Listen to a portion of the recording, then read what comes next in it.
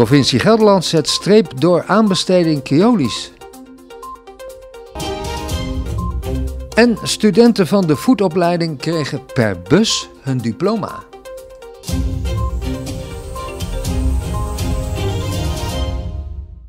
De provincie Gelderland wil een streep zetten door de aanbesteding van vervoerder Keolis. De busmaatschappij kreeg de mega-aanbesteding van de provincies Flevoland, Overijssel en Gelderland. Toen bleek dat Keolis had gesjoemeld met contracten, besloten de drie provincies dinsdag om met de vervoerder niet langer in zee te gaan. We hebben besloten om inderdaad die concessie in te trekken namens eh, Gelderland, Overijssel en Flevoland. Uh, dat is een voornemen. Keolis krijgt nog twee weken de tijd om daar uh, iets van te vinden en de zienswijze in te dienen. En dan over een paar weken nemen we een definitief besluit. Het was een moeilijk dilemma, een moeilijk besluit, want het heeft voor- en nadelen. Maar we konden niet anders. Uh, want Keolis heeft bewust onjuiste informatie gegeven bij de aanbesteding. Heeft dus eigenlijk vals spel gespeeld.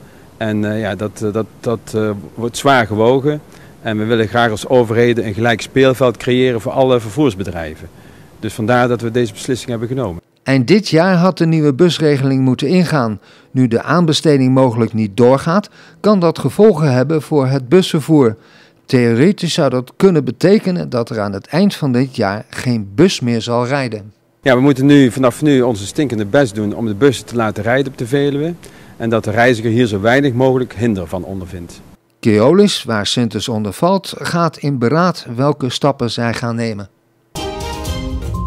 In Uddel raakte een bestelbus met een vrachtwagen frontaal in botsing. Dat gebeurde dinsdagmiddag op de Meervelderweg. De bestuurder van de bestelbus moest door de brandweer uit zijn beknelde positie worden bevrijd. Hij moest met zijn verwondingen naar het ziekenhuis worden overgebracht. De vrachtwagenchauffeur kwam met de schrik vrij. Door nog onbekende oorzaak kwam de bestelbus op de verkeerde weghelft terecht en botste frontaal tegen de vrachtwagen. Door het ongeval werd tijdelijk de weg voor al het verkeer afgesloten. De politie doet onderzoek naar de toedracht van het ongeval. Misschien wel dankzij het coronavirus worden er alternatieven bedacht om leerlingen of studenten toch hun diploma te krijgen. Bij de SVO voetopleiding reden ze met een Amerikaanse schoolbus de plaatsen af om daar hun studenten te bezoeken. In die coronaperiode, waar we nog steeds in zitten, uh, ja, was het best wel lastig om een goede diploma-uitreiking te doen. En uh, toen we dit bedachten, hadden we zoiets van ja, weet je, misschien is het leuk om uh, op een andere manier de diploma-uitreiking te doen in plaats van op de locatie zelf. Want ja, met de beperkingen was het uh, niet mogelijk. Ehm, komt nu ook nog bij dat er bij ons op locatie uh, aan het verbouwen is. Dus dat hadden we nog niet bedacht, maar dat kwam ook zo uit.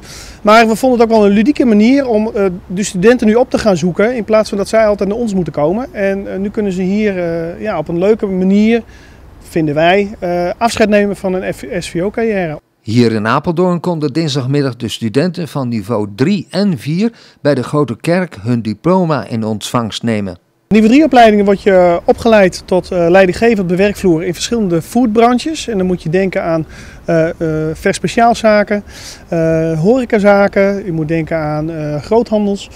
en niveau 4 word je ook opgeleid, maar dan tot ondernemer van een eigen vers speciaalzaak, je eigen foodtruck of koffiebar of wat dan ook. of je kunt opgeleid worden tot leidinggever in dezelfde branches. Acht studenten uit Apeldoorn en omgeving kregen op deze bijzondere manier hun diploma overhandigd. Waarom heb je gekozen voor deze opleiding? Nou, ik heb voornamelijk gekozen voor deze opleiding omdat vakman ondernemerschap me heel erg aansprak. Omdat ik uh, ja, ben een ondernemer persoon en ik wil uiteindelijk wel een eigen sociale onderneming starten. Ik was uh, best wel jong toen ik uh, moest kiezen wat ik wou gaan doen na mijn middelbare school. En toen uh, was dit wat algemener dan alleen koksopleiding, want dat vond ik als eerste het leukst, de keuken. En dit was een stuk algemener, dus vandaar deze keuze. Ashley en Noah weten al wat zij hierna gaan doen. Eerst volgend jaar nog een jaar erachteraan, dan word ik ondernemer. En daarna wil ik met die kennis een hbo-opleiding gaan doen. Op dit moment ga ik eerst een jaartje werken. En uh, thuisopleiding wil ik gaan volgen. En dan echt meer op het maatschappelijke gedeelte, zodat ik uiteindelijk de mensen ook goed kan begeleiden. De Amerikaanse schoolbus vertrok hierna naar Zwolle om ook daar studenten te verrassen en hun diploma's te overhandigen. Dinsdagavond was er een korte brand bij Cafetaria Het Bikketje in Uggelen. De frituurpan stond daar in brand. De brandweer wist snel de brand te blussen.